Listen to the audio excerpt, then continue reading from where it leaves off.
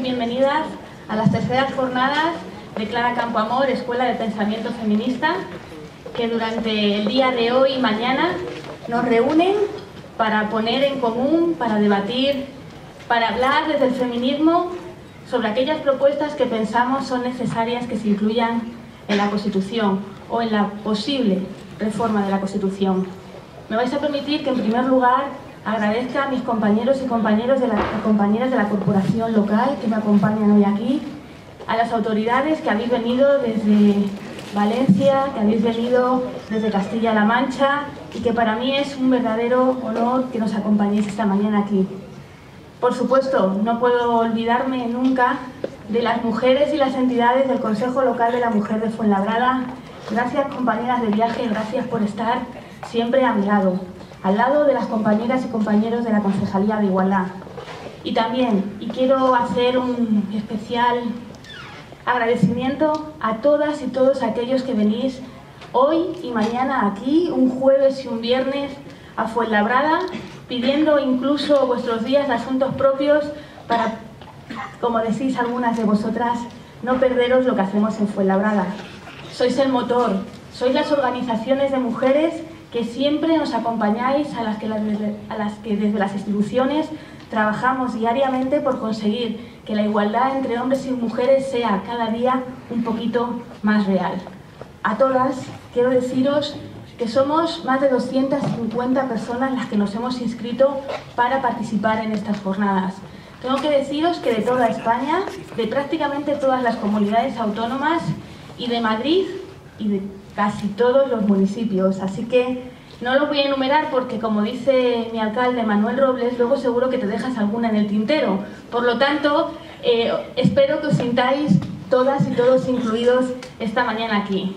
Una mañana de jueves a las nueve y media de la mañana, que no es cualquier cosa para llegar a Fuenlabrada desde todas partes y para los que somos de Fuenlabrada para estar aquí también. Unas jornadas que traen al debate algo que nos parece muy importante a la Escuela de Pensamiento Feminista y es nuestras propuestas. Esas propuestas que las mujeres, las organizaciones de mujeres, las organizaciones feministas pensamos que son necesarias eh, incluir en el debate. Como sabéis, la reforma de la Constitución está ahora mismo en boca pues, de casi todos los partidos políticos, de una gran parte de la ciudadanía y yo creo que es algo en lo que todos y todas estamos de acuerdo y es que es necesario, después de 38 años, reformarla. Pero no nos vale cualquier reforma. No puede ser una reforma que sea un maquillaje, no puede ser una reforma que solo incluya aquellos temas que tienen que ver con la organización territorial del Estado. Hay derechos que tienen que convertirse en derechos fundamentales y creo que ahí están muchos, muchos de los derechos de las mujeres. Eh, no, puedo, eh, no puedo olvidar y no quiero olvidar eh, aquí en primer lugar a todas esas mujeres que ya no tienen voz, a todas esas mujeres que son asesinadas día a día en nuestro país y que parece que nadie escucha. Por eso aquí me vais a permitir que el primer aplauso sea para ellas, para todas las mujeres.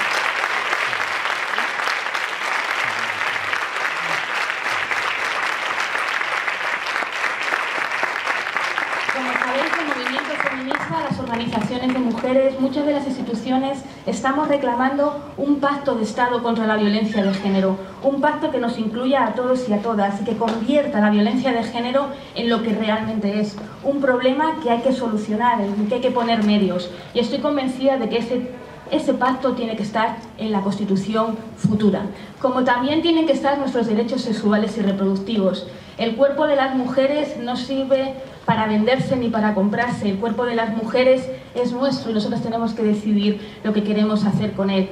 No podemos permitir lo que está ocurriendo estos últimos años, que los derechos de las mujeres han estado en manos de un gobierno que no nos quiere.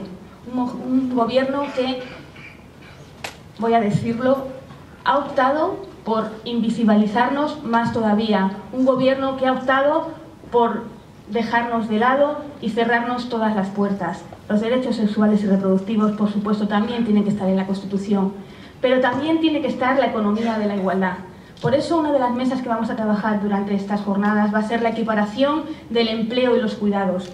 Mientras los cuidados sigan recayendo en exclusiva, prácticamente en exclusiva en las mujeres, vamos a tener muy complicado el acceso al empleo, al empleo de calidad, al empleo en la toma de decisiones. Y por supuesto, vamos a seguir cobrando un 24% menos. Por lo tanto, también habrá que hablar de ello. Y también habrá que hablar de la participación de las mujeres. Porque, quiero decirlo aquí, me parece que la participación de las mujeres no puede ser solamente la paridad en la ley de igualdad en la ley de igualdad que solo incluye a los partidos políticos con el obligado cumplimiento de que las listas haya al menos un 40% de mujeres. Creo que esa paridad tiene que ampliarse. Creo que los puestos de decisión tienen que compartirse y eh, en estos días lo estamos viendo. Eso queda muy, muy lejos de la realidad. Pero también queda muy lejos de la realidad en la cultura, queda muy lejos de la realidad en la educación, no solamente porque haya un 20% eh, de personas, de mujeres que ocupan puestos de responsabilidad en, las universidades. Somos el 60% de las licenciadas y eso, sin embargo, no se ve reconocido. Pero también tampoco podemos dejar al albur de un gobierno que decida que es prioritario segregar a niños y niñas porque, total, como no estamos mm, juntos y juntas en la sociedad, no es necesario que nos eduquemos, nos formemos de forma igualitaria tenemos que luchar por una coeducación real y esa coeducación la tenemos que trabajar en leyes, en leyes y si es posible convertirla en un derecho fundamental, mejor que mejor. Como veis, hay muchos temas para debatir, para traer aquí, para poner de manifiesto y por eso estamos aquí en, estas, en estos dos días en el que bueno, tenéis el programa todas y todos, pero a mí siempre me gusta eh, decir y nombrar a todas esas mujeres que para mí son referentes, que para mí sois maestras y que me hacéis la vida más fácil todos los días.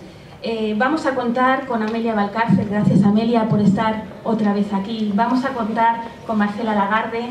Marcela, muchas gracias, recién llegada de México, un placer. A Carmen Calvo, que está a puntito de llegar. A Mares Quembre, a María Durán, a Ángeles, Alicia Millares, a Mariluz Rodríguez, a Laura Nuño y a Soledad Murillo. Y dejo para el final, y no porque sean menos importantes, a tres mujeres que nos van a servir para reconocer el trabajo de esas 26 mujeres que en el año 78 eran las primeras diputadas. No me quiero olvidar de Julia Sevilla, gracias por estar aquí, de Carlota Bustelo y de María Teresa Revilla. Ellas, solitas, y me gusta decirlo así porque estaban muy solitas, fueron capaces de estar presentes, que ya con eso me parece que en el año 78 era mucho, y consiguieron eh, poner su granito de arena. Desde aquí, todo mi reconocimiento. Y vamos a moderar unas mesas este año con mujeres que son referentes en los medios de comunicación, que son las que creáis las noticias, que sois las que le ponéis el sesgo de género y que seguramente si no fuera por vosotras, eh, las mujeres estaríamos menos presentes de lo que estamos. Y os las voy a nombrar también. Tenemos a Lourdes Muñoz, que está aquí ya también con nosotras, de Dones en Sarsa, Ana Requena, del diario.es, Pilar García, de Ser Madrid Sur, Busi Bertomeu, de Mujeres, muchas gracias Busi por estar con nosotras de nuevo, Magda Bandera, de La Marea, Sara Mateo, de Tribuna Feminista, y Mariola Lourido, de la cadena SER. Como veis, un cartel no es porque sea nuestro, pero sí es de lujo. Para mí lo es como feminista y como concejala de igualdad del Ayuntamiento de Fuenlabrada tengo que deciros que también. Y yo no me voy a extender más porque las, las protagonistas son ellas, las que nos tienen que decir eh, lo verdaderamente importante. Pero me voy a acabar con una cita de, de, de Frida Kahlo, Marcela, que decía que nada permanece, que todo revoluciona. Y a mí me gusta hablar de esas pequeñas revoluciones cotidianas. Y tengo que deciros que para mí la Escuela de Pensamiento Feminista Clara Campo Amor es eso precisamente. Es una pequeña revolución diaria que hace que la vida de las mujeres mejore poquito a poco. Pero tengo que deciros que eso no es posible sin que haya hombres cómplices, hombres que apuesten porque las mujeres seamos visibles, porque las mujeres tengamos espacios, porque las mujeres ocupemos nuestro lugar hombres como nuestro alcalde Manuel Robles. Con él os dejo.